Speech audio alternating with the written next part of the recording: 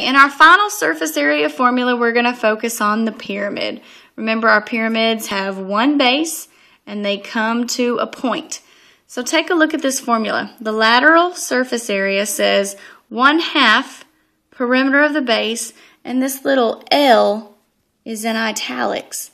That L stands for your slanted height. And I'll explain more in just a minute. And then we've got our total, which is, of course, the lateral plus capital B area of the base. Why isn't there a 2 in this formula like there is the other one? Because a pyramid only has, what? One base. So there's no need to multiply it by 2. I don't have two bases. I just have one for pyramids.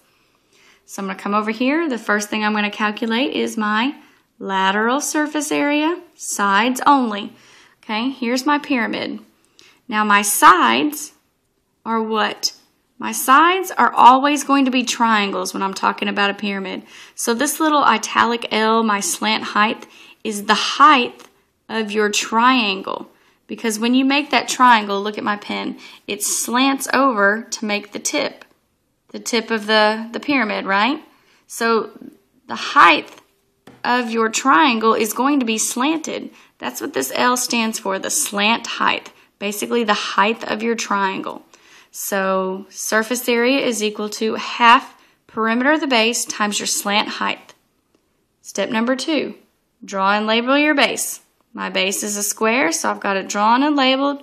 Perimeter is 3 plus 3 plus 3 plus 3. My perimeter is 12. So, plug in my numbers. Surface area is equal to half perimeter of the base times my slant height. My slant height is 18. You can see it goes from the tip of the pyramid to the base of the triangle and it makes my right angle because there's the symbol right there. So times 18. Multiplying this out, 12 times 1 is 12, divided by 2 is 6. Or if you can look at it as half of 12 is 6. 6 times 18 is 108 centimeters squared. Okay, another example. This is a triangular pyramid. Okay, all the steps are still just the same. It does not change because this shape over here is a, a square pyramid and this one's a triangular pyramid. We still follow our same five steps.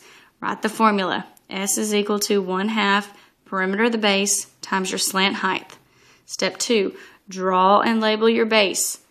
My base is a triangle, so I've got five, a side of 5, a side of 5, a side of 6, and the, this height is 4. As you can tell right here, this height is 4. Perimeter is 5 plus 5 plus 6. So my perimeter is 16. Guys, look, I'm solving perimeter. I did not even use the 4. Sometimes they give you extra information that you don't need. They do that to see, do you really know how to find the perimeter of this triangle? We don't need the 4 to find perimeter.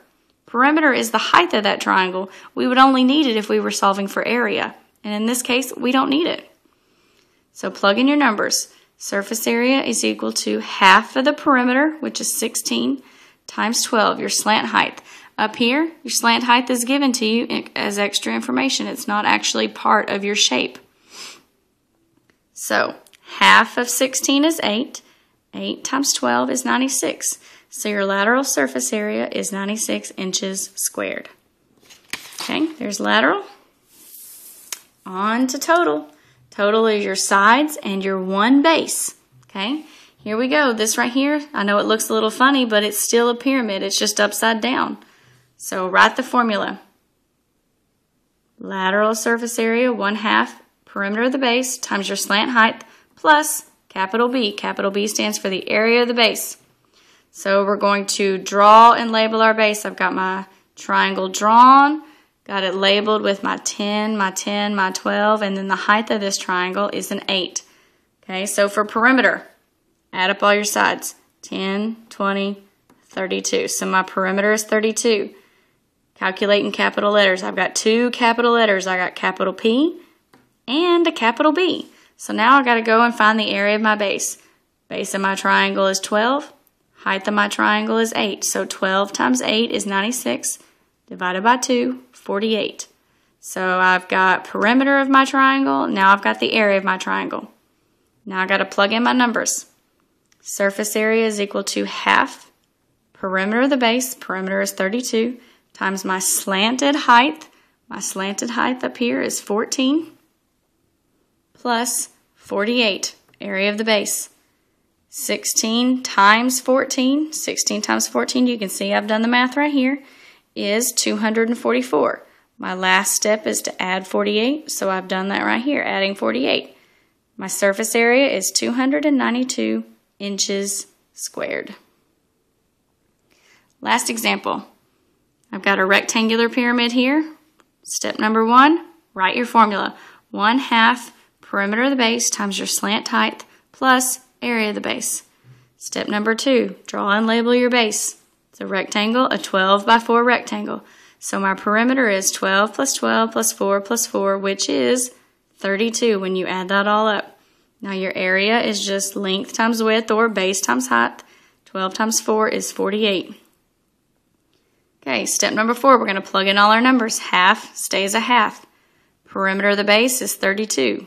32. My slanted height, come up here, it is 20. My slanted height is 20 plus capital B, area of the base, which is 48.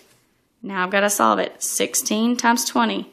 16 times 20 is 320 plus 48 plus 48 is 368. So your surface area is 368 feet squared.